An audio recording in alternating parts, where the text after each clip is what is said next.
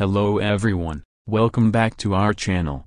In this video we're going to dive into some potentially huge news regarding Iraq's currency and the country's plans for a major monetary reform and revaluation. This involves the Iraqi dinar exchange rate, executive orders from the US government, and funds that have been frozen for years that may now be released.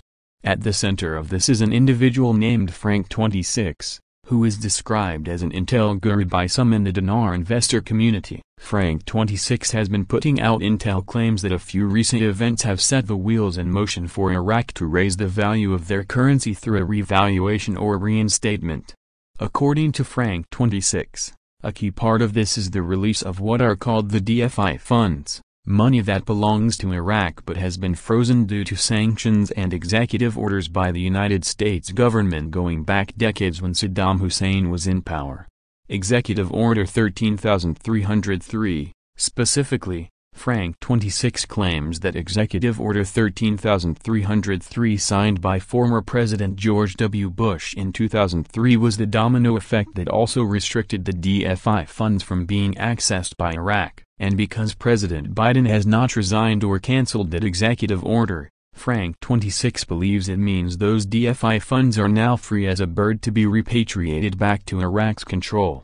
The theory being put forth is that with those DFI funds finally released back to Iraq after nearly 20 years of being frozen, it will allow the nation to finally revalue and strengthen their currency, the Iraqi dinar. A higher valued dinar would increase the purchasing power for Iraqi citizens in the country's economy. Dinar revaluation slash reinstatement. This flows into the long-standing claims by some that the Iraqi dinar currency is drastically undervalued on the global market and that a reinstatement to a higher level is not only possible but likely coming at some point, whether through a LOP or revaluation. Having the DFI funds would theoretically give Iraq more resources to help facilitate that transition. Now, whether you buy into these theories or not, there's no doubt that Iraq's economy and currency situation has been severely held back by sanctions, conflict, and systematic issues for decades. If what Frank 26 is claiming does happen to come to fruition, it could have major impacts. But we'll have to wait and see what happens next in this long-running saga. As always,